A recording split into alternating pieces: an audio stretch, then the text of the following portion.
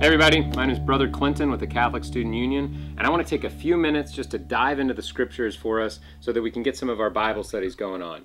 So, first things first, we're going to be looking at the 30th Sunday in Ordinary Time, and the gospel for that week is Luke chapter 18, verses 9 through 14.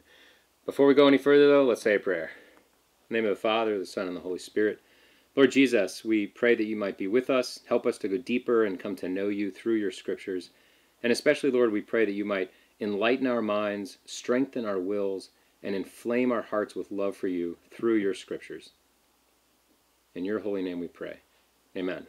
Father, Son, Holy Spirit. Okay, I'm not going to actually read the scripture right now because we don't have enough time, so you do it, and I'm going to pause.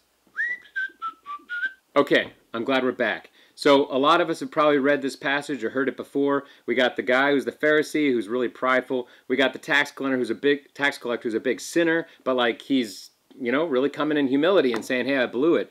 And you see who goes away justified. Jesus says that the tax collector goes away justified. But listen, here's the passage I want to zoom in on. The last part. What happens? Jesus says, "For everyone who exalts himself will be humbled, but the one who humbles himself will be exalted."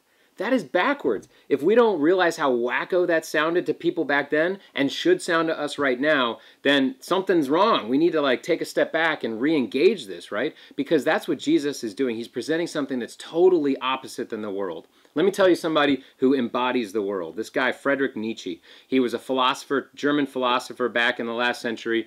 Um, God bless the guy. Don't really agree with a lot of what he said, but wow, has his ideas influenced us a lot. One of his famous quotes that a lot of a lot of us have heard is he says this: "That which doesn't kill you only makes you stronger."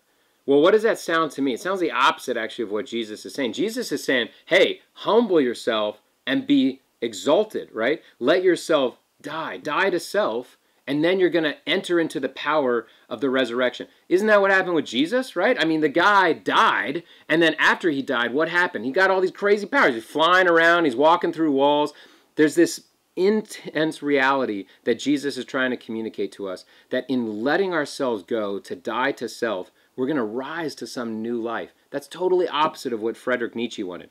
If you want to think about this on a human level or kind of a pop culture level, who do you like better, Captain America or Iron Man? We can fight about this later for those comic fans out there, but here's what I'm going to propose to you.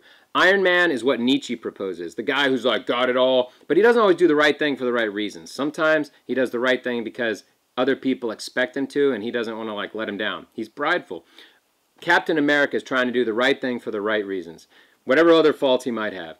So that is your your few minutes with the word this week. I hope it's fruitful. God bless you. Rock on.